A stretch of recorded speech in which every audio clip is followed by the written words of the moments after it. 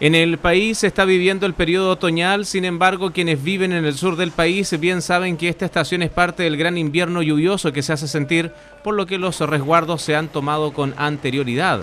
Unos resguardos que desde el municipio y el Servio parecen haber olvidado en desmedro de quienes a diario deben tomar la locomoción colectiva, una moda bastante extraña en la capital de la región de los ríos de tener paraderos sin techo.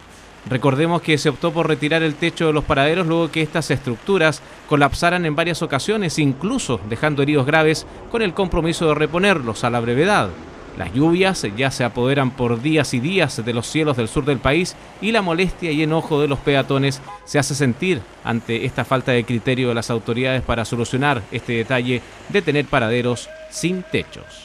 O sea, es malo porque todo el día usa locomoción como micro y es horrible porque uno se baja y siempre hay posas y los paraderos nunca tienen techo o realmente no hay.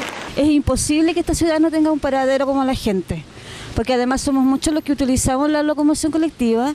Em, primeramente hay que buscar una persona que sea de la zona para que sepa qué tipo de paradero necesitamos.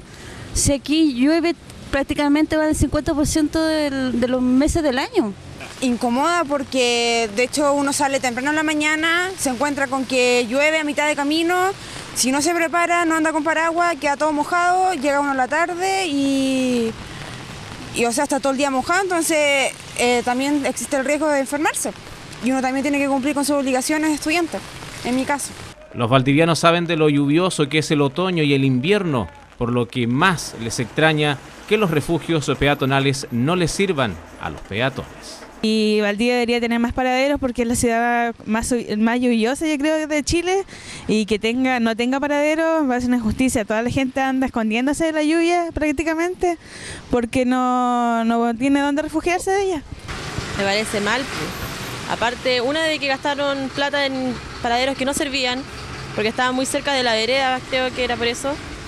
Y, ahora que estén ahí solamente para sentarse, pues siendo que esta ciudad es tan lluviosa, eso no me parece. Vivimos en una ciudad lluviosa, helada, donde los universitarios, la gente trabajadora, los secundarios tienen que estar expuestos al frío, a la lluvia, llegar mojados a sus lugares de trabajo, de, estudio.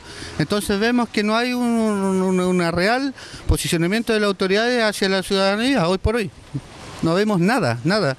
Las críticas se dejan caer hacia el alcalde, a las autoridades del gobierno anterior y del actual. Incluso ya hubo encontrones entre la autoridad edilicia y las del Servio por los refugios peatonales sin techo, lo que quedó en ninguna solución efectiva y rápida, al menos antes que termine el periodo de lluvias.